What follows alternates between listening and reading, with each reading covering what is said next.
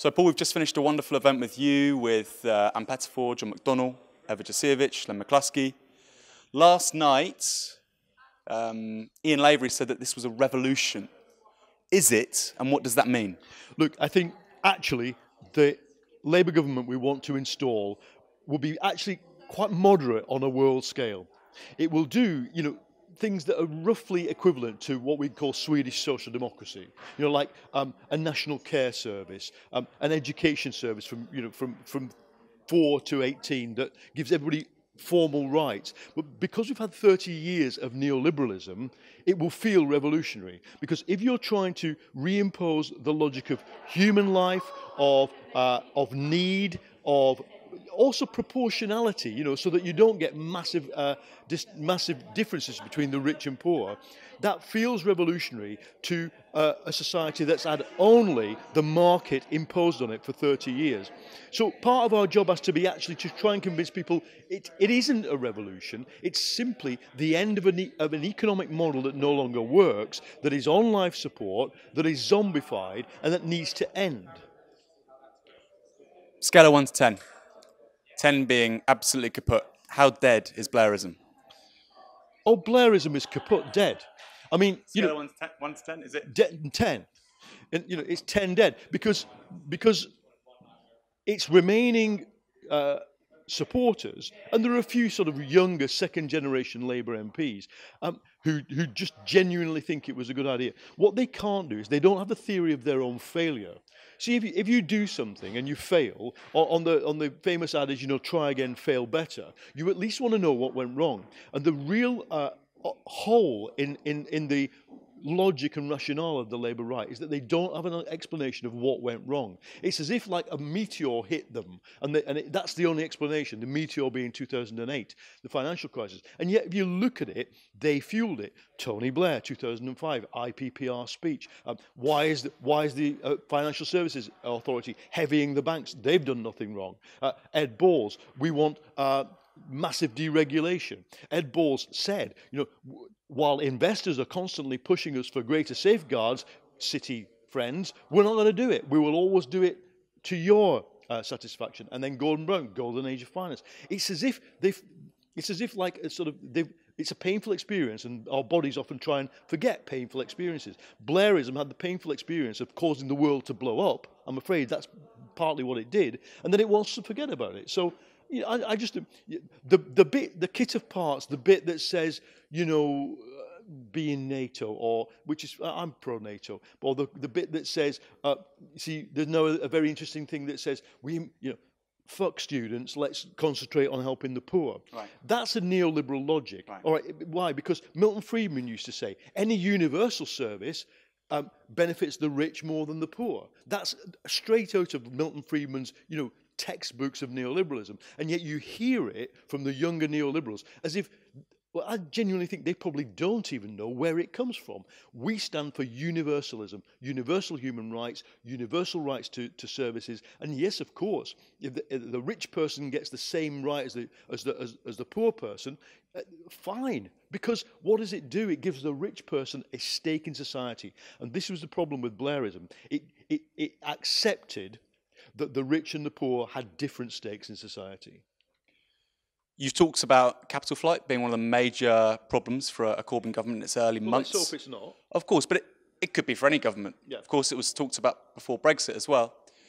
Who would you like to see at the Bank of England uh, as the governor?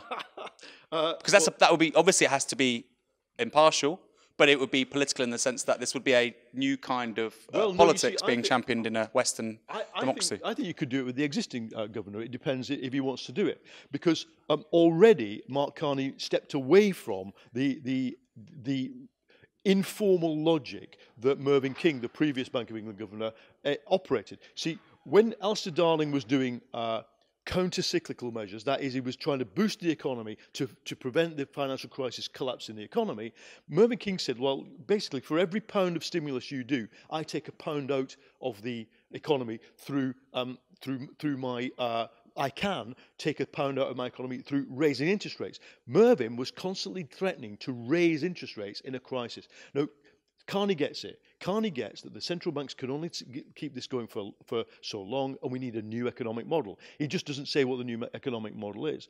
But I do think, you know, McDonald, John McDonnell announced today there's going to be this strategic investment board. What that's designed to do is to pull the, the, the, the, the chancellor, the, the head of the business and investment department, which I hope will become like a big economic management department, and the bank governor into a joint decision making that prevent one arm pulling a lever this way when the other is pulling it that way. You've got to pull all the levers at once. And the bank, bank, central banks are effectively already arms of fiscal policy. They can remain independent. The governors can, can exercise ju judicious uh, oversight.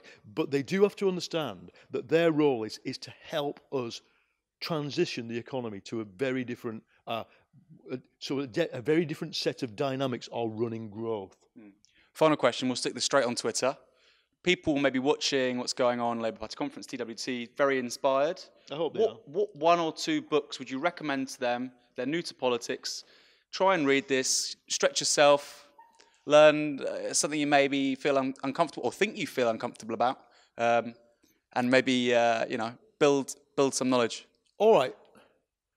I think oh, it's so difficult because I think you know I would almost say you can almost not get this book, but it's called The Attack by R.H. Tawney, Richard Tawney, who was a, a, a Labour sort of quite centrist, and he's often seen as the kind of godfather of Blairism in a way. But Tawney basically writes the, the, attack refers to when he got shot in World War One. He's lying in a trench thinking, "I'm dead," and he comes out of that and he thinks, "Right, I'm going to I'm going to change the world."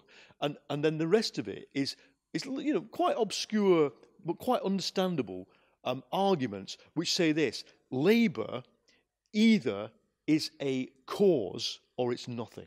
Either it's an aim to transform society or it, it's going to just fail. And he goes through everything we know, you know, people who are, uh, you know, you go into Parliament, then you're in the Lords, and he just goes like, we've got to stop this. We've got to have a, I mean, unfortunately, at the time they used to say, use the word crusade, which we can't use, we shouldn't use. But he said either it's a crusade or it's nothing, and you can read that. Um, I'd also say take inspiration from the great stories, which are not fairy stories, but the great stories of, social, of people's experience in social transformation. And one thing that we, when I was in the Labour Party Young Socialists, we used to read a book called Out of the Night by a guy called Jan Valtin. And he'd been a youth in Germany during the German Revolution after World War One. And if you just read, he became a spy for the Soviet Union and all sorts of weird shit, basically. But read that, read the life stories of people who've done it because it makes you realize the one thing the one thing i keep here is the chant of the students and the workers on tiananmen square yeah in 1989 do not fear tyranny. Never fear it. You can always defeat it. Legend. Thank you mike